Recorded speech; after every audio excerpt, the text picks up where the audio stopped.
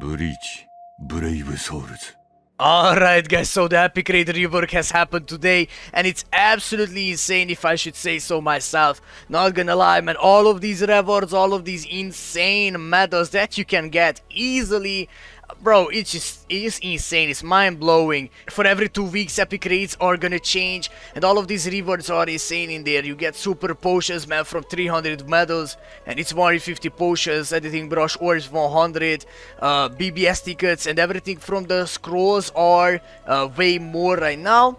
Uh, before we got only 25 right now you get 50 and you can get uh, 4 sand screws as well.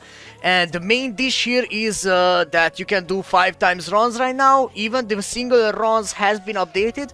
Before we used to get like 60 from the normal and 75 from the awakened. Right now from if you do like one single ticket on the ultimate you get 150 if you don't have the little bonanza pass and you do like a 5 times run in total you will get 750 medals from clearing the ER with 200 bonuses. If you have the little Bonanza pass and you use 6 tickets, right? You can get 900 medals and it's insane. Not gonna lie, I have been farming this for like 40 minutes and we almost cleared out the whole entire shop. So I highly suggest hopping in there, especially if you have bonuses. Or you can just join random rooms, guys, not gonna lie. The bonuses are kinda, kinda nice right now, especially for the red one. The heart is kinda bad, but others are definitely good.